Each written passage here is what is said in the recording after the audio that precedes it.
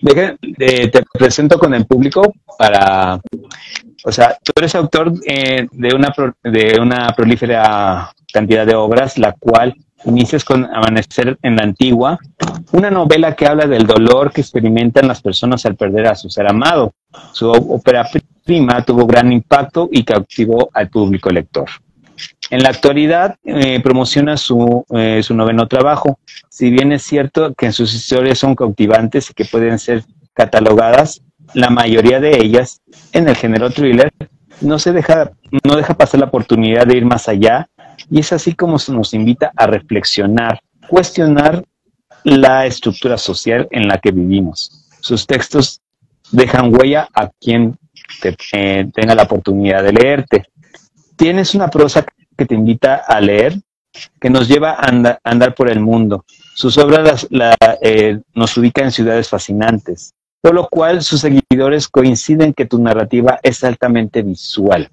Quizá eh, por esto mismo se, has, te has desarrollado en la industria cinematográfica, eh, trabajando en producciones eh, estadounidenses en unos años, desde hace unos años a la fecha.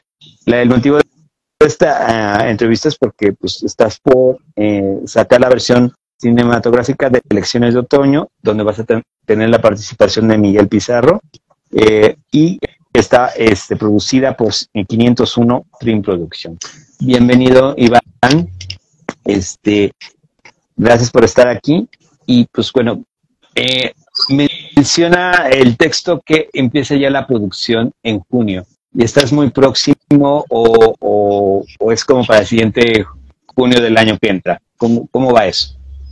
La, la producción empieza en, en junio, eh, en, no en junio, mañana, pues, en junio, pero mañana, prácticamente mañana, a las nueve de la mañana empezamos con, con la primera toma. Este, nos llevamos aproximadamente dos semanas aquí en México, un poquito más, y el resto lo haremos en Madrid y en Toledo. Una disculpa por, por la voz. voz. Me quedé afónico estos días. Este, eh, una disculpa. Pero bueno, ese es, ese es la, el, el, plan de trabajo. Empezamos aquí y terminamos en Madrid. Sí, ok. Y, creo que también eh, dicen Ciudad Camargo y en Chihuahua, capital. Sí, las ciudades van a ser Camargo, que aquí grabamos la mayoría de los interiores. Chihuahua eh, es un par de interiores y, y algunas, un par de exteriores, son un día y medio ahí. Y el resto es en, Toledo, que práctica, el Toledo y el Madrid, que prácticamente son, son exteriores. Ah, perfecto, perfecto. Entonces, se trata de, la historia de, pues ahora sí que eh, un, adulto, un adulto mayor que eh, va a ser representado por Miguel Pizarro, que como que ya pierde un poco el sentido de la vida y vive en la desesperanza. Por circunstancias de la vida, se encuentra con un niño que piensa igual que él.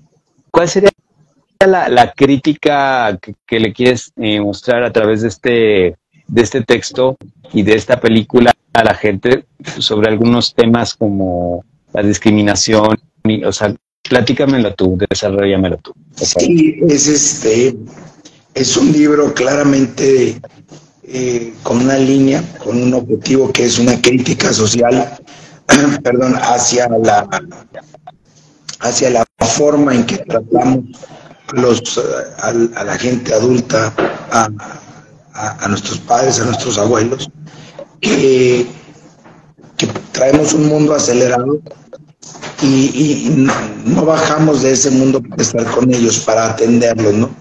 el libro, este, básicamente ese es el objetivo, ese es, el espíritu. Eh, esto eh, se toma desde una óptica, se platica en medio de una historia de un niño que pierde a su padre, igual está en desesperanza, no, no le haya sentido a la vida. Y luego eh, cruza con, con, don Alfonso, que está estacionado en el, en el desánimo de muchos años atrás. Sus hijos no lo visitan, su, esposa, su esposa murió años atrás. Eh, sus amigos ya murieron. Y él siente que, está sobrando en la vida, que ha intentado una o dos ocasiones salir, eh, suicidarse o estar, terminar con su vida, pero eh, una, su voz interior le dice que esto no es cuestión de decisión, es cuando el destino lo, así lo determina. ¿no? Entonces, sí es una, es, una novela de una crítica dura de cómo nos comportamos con los adultos mayores. Mm, ok. Digo, yo tuve la oportunidad de platicar con Miguel eh, eh, Pizarro, este, en, ahorita que estuvo en este trabajo que estaba haciendo en teatro de Todos Somos Yo, y de, no, es tan, no es tan grande de edad, o sea, es como muy contemporáneo mío. ¿Se le va a dar una caracterización especial para su personaje o, o solamente va a ser una cuestión corporal? No, eh, este, efectivamente, coincido contigo, no es grande de edad y segundo, es una persona que representa menos años, ¿no? A lo mejor ahorita lo uno, uno más grande por la barba, por eso, pero este, realmente él, representa menos años, pero contamos con un equipo de caracterización increíble, con gente que hace trabajos maravillosos y lo vamos a, caracterizar, no lo vamos a mandar de, 40 a, de 60 a 80, 85 años. Vamos a, hay un par de escenas, unos flashbacks que lo retratan a los 60 años y vamos a, a, utilizar con dos personajes que lo van a, dos, dos actores que lo van a representar de, de 10, de 15 años y otro de 20 y tantos. Pero no, la mayor parte de la novela es él. Ah, perfecto, perfecto. Digo, porque por aquí también eh, mencionas eh, un poco el casting que, que también entrarán Guillermo Iván, Luis Gatica, eh, Sandra eh, Unuena, eh, Umea, perdón, y Andrea Portugal, Evangelina Martínez, Evangelina Sosa y Nicole este, Mayer, entre otros. Así es. Así es. Este, perdón, dime. Sí, no, te iba a preguntar, este, Mateo Chávez, este, ¿de qué edad es el personaje del niño? Aquí lo de Mateo Chávez es algo extraordinario. Hicimos un casting alrededor de 50 niños en el país. La película la vamos a grabar en, Camargo, Chihuahua, que es, un, es una, población pequeñita de 50 mil habitantes. Y, por, por alguna circunstancia que hay, es conocida como Camargo, cuna de artistas. Aquí hay muchos este, talentosos. Sebastián, el escultor, David Alfaro Siqueiros, el muralista, Oca Giner, eh, María Sorté, eh, Lucha Villa, Aaron Hernán, una infinidad de actores han nacido aquí, de artistas en general. Entonces, volvió a repetirse esta parte, porque después de estos de, este largo casting que hicimos, acabamos decidiéndonos por el niño que no queríamos. Déjame platicarte por qué ese niño que no queríamos, porque nosotros en el cine es más fácil trabajar con un niño de 15 años que luzca como, como un niño de, de, de 10, 11, 12 años, que un niño de 10 años, 11 años. ¿Por qué? Porque eh, un niño de 10 años tiene menores recuerdos, mejor, menores, tiene menos recuerdos, menos experiencia y es más difícil trabajar con él, ¿no? Pero fue sorprendente porque Mateo es un profesional, a pesar de, de su... Es una persona que no ha habido un solo día que haya llegado a los ensayos sin saberse las líneas eh, se corrige, se calibra la intención de su actuación, actuación y al día siguiente regresa dominándolas. Es una persona extraordinaria, adicional a que retrata muy bien, que, a que tiene, tiene un ángel, pero bueno, también, no también, sino principalmente debe, debe ser un buen actor. y, lo es. Tiene una, una, pequeña experiencia, ha trabajado con Mario Iván Martínez en un par de ocasiones. Eh, yo creo que esto pues, le ayudó mucho en su, en su preparación y hoy nosotros lo tomamos para, para ser prácticamente el, el coprotagonista. Sí, digo, entonces eh, pues tiene un gran peso, pues este, este personaje, como dices, coprotagonista, para que pues, le va a dar un sentido a, la historia que, va a llevar este el protagonista que sería este eh, pues ahora sí que Alfonso Aldaz Iglesias que va a interpretar Miguel Pizarro y en cambio este Mateo va a ser Gerard. Gerard va a ser Gerard efectivamente, este, digo, estamos muy contentos con el, reparto. Creo que, cada, una de las personas que está es, la indicada. Eh, el único cambio que hemos tenido al momento fue eh, en lugar de Sandra Benomea, una gran, gran actriz, este, nos va a acompañar otra, eh, también un, gran talento que es Mónica Ana Cepinska, una, mujer hermosa de Venezuela, este, mis muchos títulos, ¿no? Pero junto con esos títulos eh, debería ser mis talentos también, porque es una, una, chica, una, una, persona muy talentosa, va a estar en, eh, el papel de Mónica, la mamá de, de, de Gerard. De Gerard. Ah, ok, perfecto. Pues sí, pues mira, espero que pues, el inicio del rodaje sea muy bueno y que todo vaya fluyendo.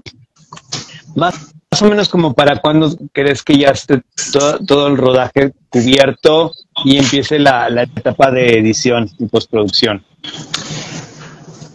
Tenemos, acabamos el primero 2 de julio, estamos acabando las grabaciones aquí en México y luego nos vamos a un proyecto a Arabia Saudita. Vamos a, Lula y echamos a andar ahí en unos prácticamente tres semanas.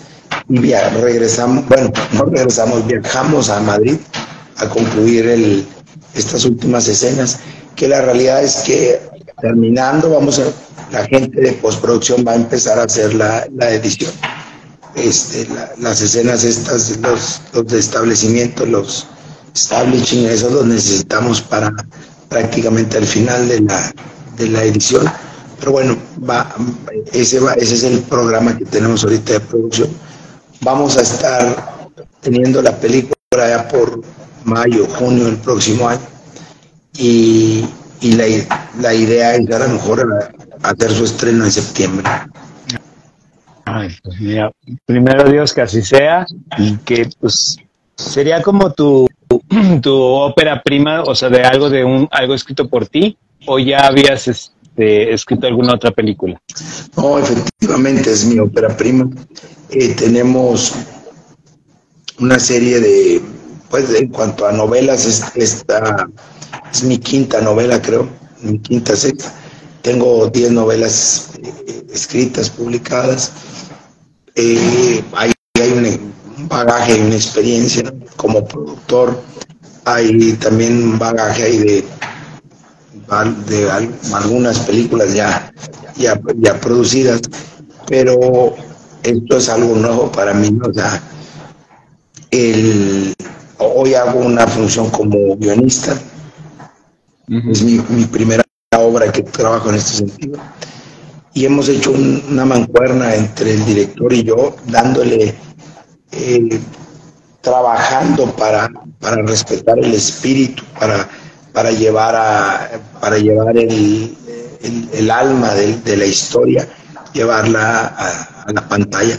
Es algo muy difícil, muy, difícil porque es resumir una historia de 300 páginas en, en 20, 30 páginas, que sería un, eso es lo que es un guion si lo reduces a, un formato normal.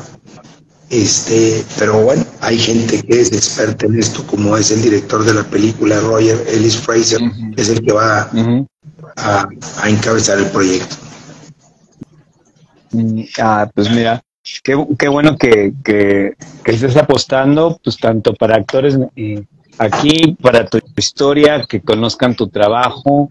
Muchas felicidades por, pues, por aventarte en algo nuevo. Eso como que habla de que siempre has estado soñando con algo mucho mejor para, para tu profesión, para tu carrera, para tus éxitos y pues es muchas felicidades por eso, Iván. Te agradezco mucho. y yo creo, yo creo que, que, la vida se trata de eso, de, de, soñar, de ir tras de tus sueños, de tener constancia, perseverancia, de resistir, porque cuando vas detrás de tus sueños, invariablemente hay, hay, hay señales, hay obstáculos, hay, hay montículos, montañas altas de escalar que, que están puestas ahí para desilusionarte, para detenerte, para... pero creo que, que, la vida lo conforma así, todos estos obstáculos, para darte más fuerza, para aventarte, para que, que llegues. Y sí, este es un proyecto muy, muy agotador, muy cansado. el, hace dos días amanecí sin voz. Este, ayer tuvimos rueda prensa, tierra, este, hoy, hoy estaba, antes de entrar contigo estaba con el doctor, me están haciendo un tratamiento porque no puedo estar sin voz mañana. Mañana se trata de hablar y de hablar y de, de, organizarlo. Pero vale vale la pena, la película tiene un mensaje muy bonito un mensaje que toca a las personas para que nos acerquemos a, nuestros padres, a nuestros abuelos, a, nuestra, a nuestros adultos mayores, que lo que más necesitan de nosotros es tiempo, que es lo que menos. Exacto. Sí, y que no solamente sea un día como hoy, como Día del Padre, que solamente medio los pelamos. Así es este, sino que sea como en todo el año, ¿no? E igual como a las mamás, ¿no? También cuando ellos son, son adultos, digo, así como que solamente vamos a verla en 10 de mayo, ¿no? Entonces, pues, pues qué gran mensaje, qué bueno que, que, estés apostando en tus sueños. Y pues, eh, no sé si quieras compartir en tus redes sociales y tu página web para que si tienen ganas de, buscar pues, toda tu colección de libros que has escrito, pues para que también las puedan comprar, aprovechando. Claro, este, mi nombre es, eh, la, página es Iván Eduardo López Campos, el, sitio web. Eh, en las redes sociales me pueden encontrar igual, Iván Eduardo López Campos en, Instagram. Ahorita tenemos un, perfil que se llama Lecciones de Otono, no, no, no con ñ, sino con N. Lecciones de Otono Film Ahí, ahí pueden ir siguiendo lo, lo que va sucediendo en, la, el proceso de la filmación, de la grabación. Y en Facebook vengo como Iván López, Iván López e Iván, y tengo otro que es Iván Eduardo López Campos. Ahí pueden encontrarnos.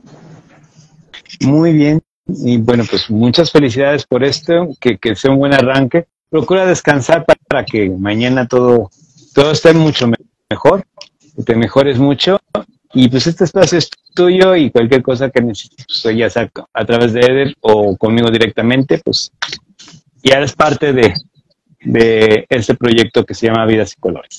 Te agradezco mucho y agradezco mucho tu, tu programa que, que siempre hace, he, estado viendo tu trabajo y hace que, que se simbre, que se simbre las personas.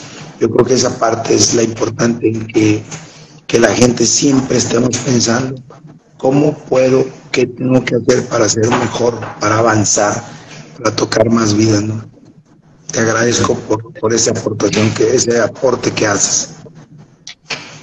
No, no, pues le agradecido soy yo porque pues mira, la, la verdad como que me agrada hablar con cineastas, con escritores, con actores, con teatro, eh, cantantes, o sea, me, ha gustado que, que mis invitados son muy variados y pues, o sea, eh, eh, he tenido gente que ha hecho cortometrajes, una persona que ha hecho un largometraje y pues yo espero que, pues tener noticias tuyas más adelante ya, ya para el estreno. Ojalá que sea para septiembre porque es un extraordinario mes donde nacen los los mejores. Ay, perdón, me proyecté.